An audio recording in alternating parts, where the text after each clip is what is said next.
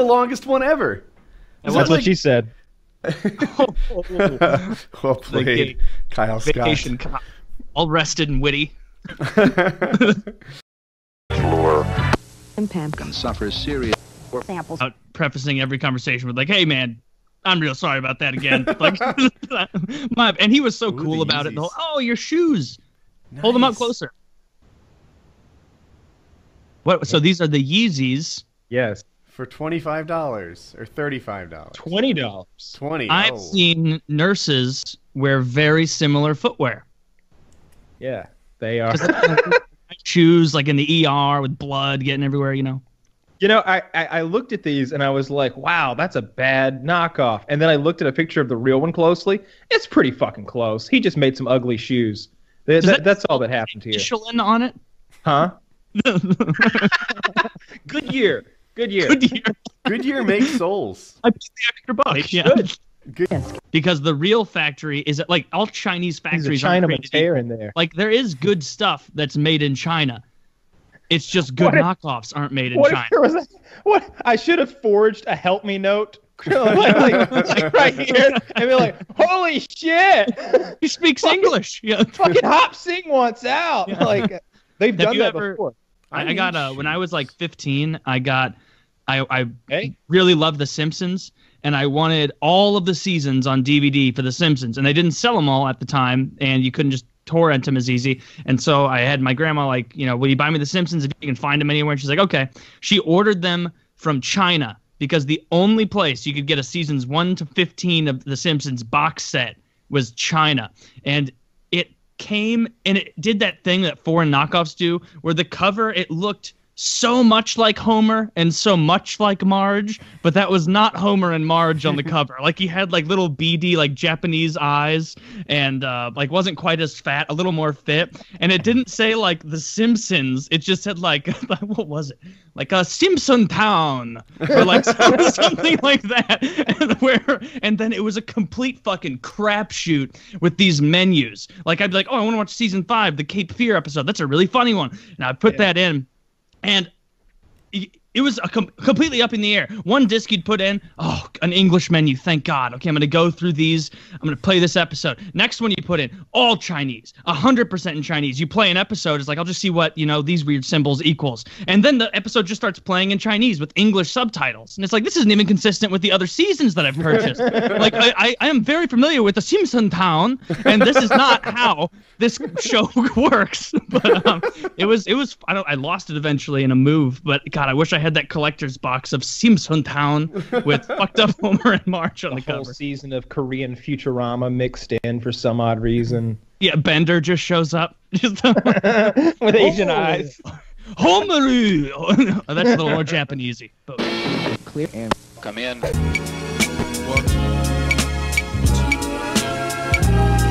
This Taylor. Imagine you get offered a job in Vancouver and you can work like three blocks away from whatever Vancouver's nicest hockey stadium is that you could actually go play. And like every week after work and Friday, you know, you're going to like go play hockey with your buddies.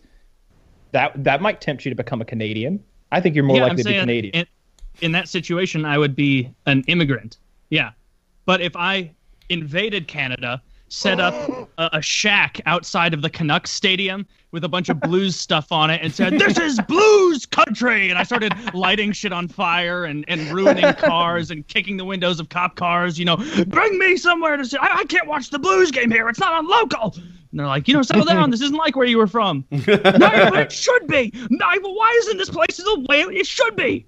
It should be exactly like the place I left, which is a horrible hellhole. But yeah. No, I come to bring that culture to you.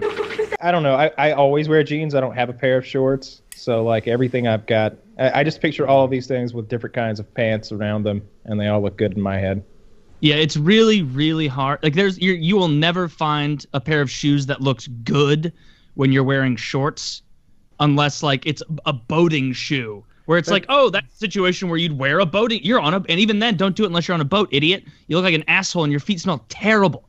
Like the reason that your feet. Oh, you're talking about the leather ones? Yeah, the leather ones. Like you need that sea air around you to dry your feet out, to get that Yeah. palatable. Like I have friends, and it's like we live in fucking Missouri, dog. You can't be wearing boat shoes in August in my house. That's incredibly rude. And don't you fucking take those things off, or I'm gonna have to get some sort of biological enzyme breaking down Febreze to hit all the areas that you walked in. I've been cooking all day. Oh, Uh, you haven't tried it yet? Yeah, I've been getting your texts about. Uh, you, you made a souffle today. You made a sour cream chocolate bundt cake. I did. Uh, And then, was there something, something else? else, I think. Did you There was a something chocolate souffle. planned. It was oh yeah, tomorrow's dish. the yeah tomorrow's the rum raisin uh, bread pudding. When you wrote that, I was like, I think I'd like to date Kyle. I think we'd make good, we'd make good boyfriends. You'd be a fatty. yeah, yeah. My girlfriend gets up every morning. She's at the gym for like three hours. Jackie's making brownies right now. She's not a bad uh, second place. Um, get fucking peanut butter sandwiches. Uh, I make peanut butter and jelly pinch pies, which is pretty much you know you take white bread and uh, and like a, a biscuit cutter thing, and you cut the center out of two pieces of white bread, put peanut butter and jelly in it, pinch the ends shut, and then you fry that shit, and it's so fucking good. Um, yeah, I do He everything. town. He's a real. What's his name? George Carver. he just starts inventing shit out of peanuts. George Washington Carver. You you made a reference to the fucking peanut butter guy from 160 years ago. Topical by your standard, you know. That's so It's a good reference. Your screen. So it turned. So so let me tell you what happened the other day. Um, Dad was telling me this story. Um, he was over there at his farm, and it was like at nighttime, and and him and his his brother, my uncle, were hanging out or something. And long story short, um, he sees that his tractor is missing, and he and he goes to looking for Josh and Josh's little brother. And what they've done is taken his his Kubota, his like Kubota ATV that he uses to work with. I don't know how much they cost, but it, it's like a used car. Yeah. Yeah, Ten grand, fifteen grand. Like Yeah, it- it's right in there. They have taken this thing and went mud bogging in it in his pond, and it is in the middle of the pond. And they have his fucking John Deere tractor down there trying to pull it out. So he drives down there. He's like, "What the fuck are you doing?" and and Josh just points to the to the Kubota. He goes, "What the fuck are you doing?" he just points, and they try to blame it on the little one. So um, they have been ran off, and wait, then it this is turned Josh out and Jeremy. Josh and his little brother, uh, his little Oh. brother, who's this redheaded fucker. And then it turns out they've been stealing shit. They've been stealing money. They've been stealing like tools and stuff. So they are From banished. Lamar. Oh yeah, from them, and I'm almost positive they stole cash out of my car because they came over to my house one day to cut the grass. I had like I don't remember exactly. Let's call it somewhere between seventy-five and 150 dollars cash stuck above above my visor, Uh-huh. and it was there to pay them with. So, and I'm like fairly sure it was there, but I'm not hundred thousand percent Right. positive that I didn't twenty at a time it away. And uh, and so when I go to pay them, it's not there, and I was like, ah shit, my money's not there. I'll go get some more. But in the back of my head, I was thinking, did they steal my money out of my car? And Dad says they do. he's like, he's like, yeah, the the change went missing out of my truck. Uh, probably eight or ten dollars worth of quarters in the console, you know. And then he keep he keeps money above his visor too, you know, ten, twenty dollars. He's like, that would always go missing. And uh, he's got a refrigerator there in his shop it's stocked with sodas and water and beer. And uh, whenever someone comes over, oftentimes, if they're polite enough, they'll throw a dollar bill in there as they take a drink or something like that. And uh, so Dad noticed there's a dollar bill in the fridge. And it, it- he thought that was kind of funny because he knows that they would be light fingered. So he put another one in there. And every day he was going to add another dollar. He telling telling his buddy, he's like, "How many dollars do you think it'll take before they steal it?" Three. It took three dollars before they stole it. Three fucking dollars. And then my uncle was Not like, a lot "Yeah." of discipline. and and my uncle was like, "Yeah, I saw him over there playing with an air horn one day." I was like, "Yeah, that's my air horn. I use that to signal when we're downrange from the cannon." And he's like, "Well, they took that. I heard them honk it as they was leaving." And I'm like, "Well, fuck them, those pieces of shit." What's Fuck Josh's him. last name and what town does he live in? Ah, I don't go there. Josh might get an ass. You Josh know, might get an ass PKA used to be hardcore, man. We used to tweet out phone numbers and you know, doxing Yeah, was before our we thing. were certain that it was a crime and you could go to jail all over the place. You know, whatever. Like, there's a talent in being like, hey, why not us, right? Because maybe too often I like I'm wired to say like, oh, well, let me list the reasons. We are not nearly the men that those guys That's are. what we do well. See, they, they, they always, you know, the U.S. is always Lists. like, 18th in like mathematics scores, but number one in like um, in uh, confidence going into the test. Like, like globally, we lead in confidence. So like, if there's something that and, and that means a lot. It There- There's a lot to be said for that. Like like sure, there might be eight other smarter, more qualified guys, but they're gonna be like, uh-uh, I, I'm not getting on that rocket and going the fuck up there. But we've got the guys that'll climb on top of that rocket, even though everybody else who put it together and set it up, the real geniuses go into a bunker two miles away. We're happy to go get yeah, on there. you know what you want is you want the Nazi guy who went to German school when they're like, that greater than sign is too large. It is not a uniform across the page, and like no credit. Like you want that guy building the rocket because he's gonna see that little lug nut or whatever, and he's gonna be like, that that is not quite enough to determine. Oh, that is perfect. Ah, Whereas the other guy is gonna be Jew. like, yeah. Jewish manufacturing, ever good. Ah, couple of loose screws in here. There's a Jew about, as we say. You know, Oh, God. My girlfriend had like five or six uh, cooking outings that just went really, really badly, and I was just like, "Look, this this cooking thing, there's no talent to it if you're using a recipe. The talent, it's like math. it, it's like math. The talent to being a chef or a cook is that you don't need that fucking book of like information. You know how much cream to add. You know what how much what what the how much butter to add. It's not because it's not about two thirds of a cup or one stick. It's about the consistency of the product. It's about how it, what the yeah, peaks are being like. able to eyeball it. Yeah, it's it's being able to eyeball, and there's all kinds of techniques to like stir something and then like let let it drip onto the rest of it and look at how that how it falls to figure this stuff out. I was like, that's what the talent part is. We're just doing math here. It's just like two thirds of this and one pinch of that and a teaspoon of this and then stir for three minutes and then 350 for 15. You can't fuck this up. So I've just had to take over.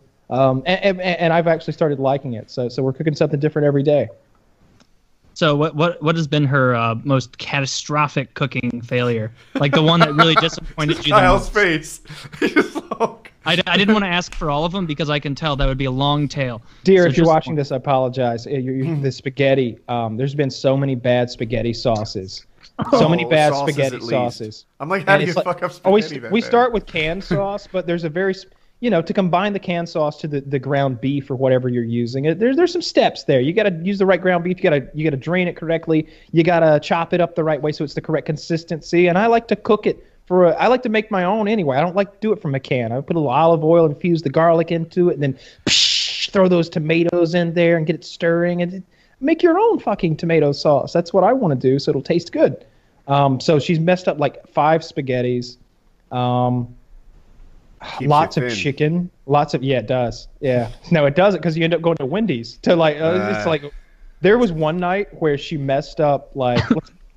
She messed up like a whole meal of food, like like a bunch of chicken and rice and stuff, all got ruined, and uh, and it was like it's okay, make a pizza, and then she burnt the pizza, and that was the only pizza we had. We had one frozen pizza, and it she was a burned it frozen pizza. yeah, yeah, it was a frozen pizza. She put it on the top rack, and the top rack was like really. Cl- it was it was it was on like broil, so it just mm. burnt the whole top of the pizza. She's like, I put it in for I twenty was minutes. way too much credit to her when you said she made a pizza. I was picturing her being like top hat, like put a little mozzarella, you know. Mamma mia! Like, like she's tossing the dough.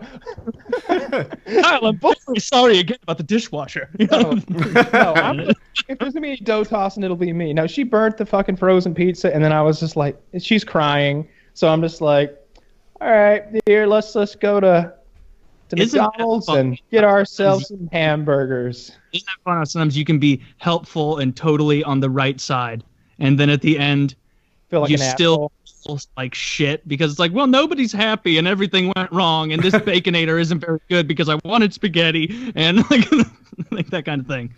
Yeah. it's uh, it, so so I'm gonna take over the cooking duties. I love cooking anyway. I really enjoy it. Um, it it's I, I like I like mixing the things together and making things happen. What I never you really describe cooked. her duties as? Right, because I'm pretty sure you earn the money, and I'm pretty sure that you do the cooking.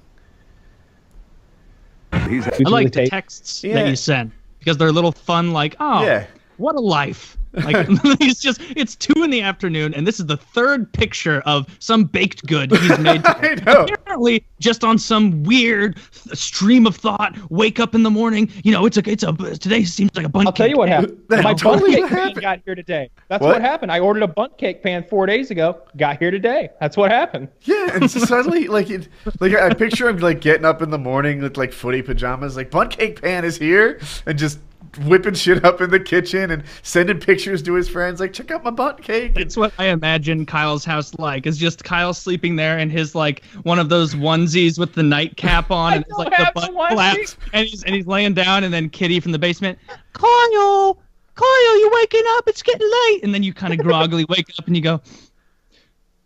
It's Bun Cake Tuesday! It's Bun Cake Tuesday! and you just sprint down the stairs like a kid at Christmas, you know, run to the front door. my bun he slides pan, on oh his my tummy to get down the stairs.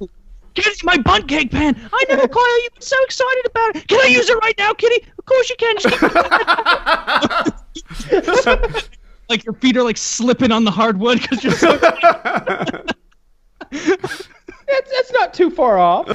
Well, not necessarily, not not like I'm some sort of dishwasher expert or something. I don't have a Maytag certification. I'm not the Maytag man or anything. just but a dishwasher buffoon. A recurring I disagreement caught- I have with Jackie is she often holds me responsible or gives herself a break based on things I would have done, but have never done. Right? Like, you know, oh, well, you would have said that too, or you would have done the same thing. No, no, no, no, no, no, no, no. We cannot hold, like, say that this was not a bad thing chunks. because hypothetical Woody would have done it too. Woody is innocent until he actually makes that mistake. That is how things go. you should turn the tables on her. It, just every time something happens, like like you'd have done that.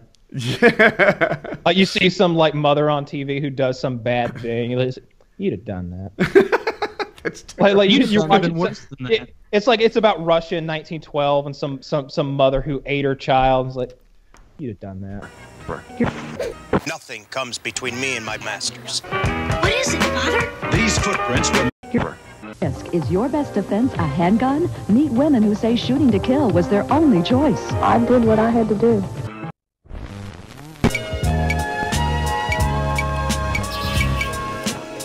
It's simple for